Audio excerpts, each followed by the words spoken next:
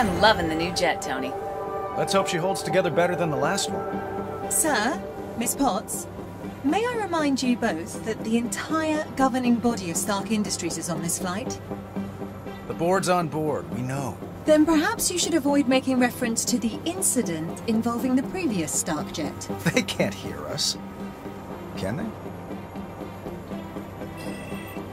Hey, Nick. What's up? Surveillance satellite.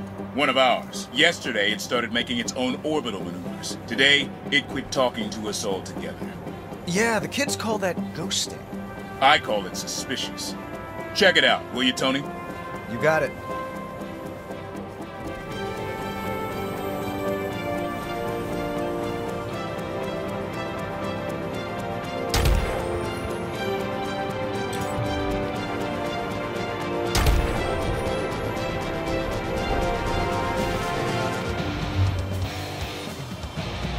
Pepper, change of plans. Let me guess. You can't make the company retreat in Maui.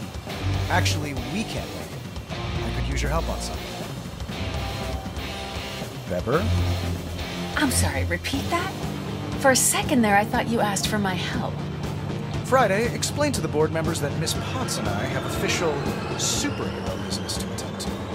Pepper, you ready? Where to? Space. Space? As in space space? Oh, you don't have to go if you don't want to. Race you there!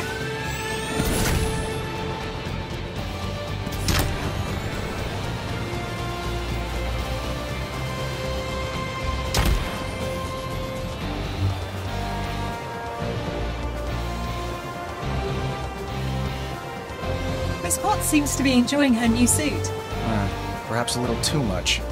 Friday, reduce the thruster output of Pepper's suit by uh, 30%.